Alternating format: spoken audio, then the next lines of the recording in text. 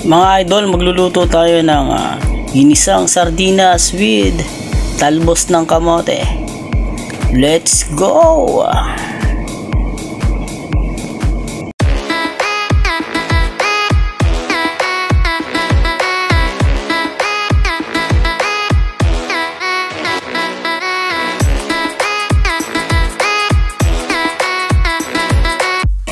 So kailangan lang natin ng mga ingredients na to. Sardinas, talbos ng kamote, kamatis, sibuyas, bawang at mantika. So yan, ay ready na natin ang ating mga gagamitin. Naiwan na natin ang sibuyas, kamatis, bawang at na himay na rin natin ang ah, talbos ng kamote. So yan, umpisa na natin. Let's go.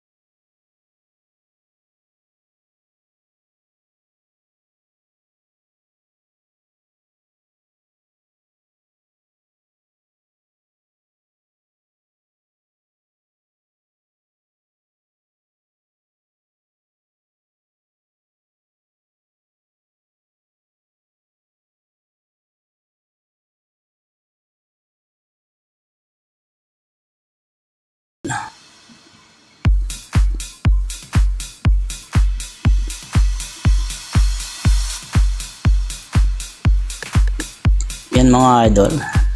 Sarap.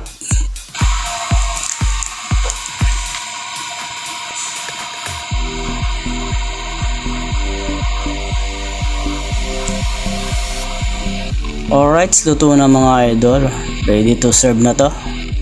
So yan na, ito na ang ating ah, ginisang sardinas with talbos ng kamote. So yan. Yan ang ating uh, pinakang finished product. O. Oh. Alright. Kakain na.